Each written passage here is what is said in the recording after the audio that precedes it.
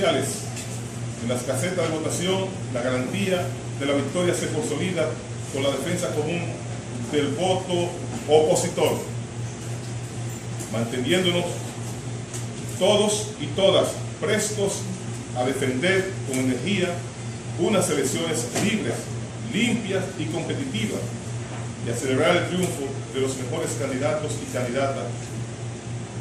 al concluir el proceso electoral del próximo domingo. Viva la República Dominicana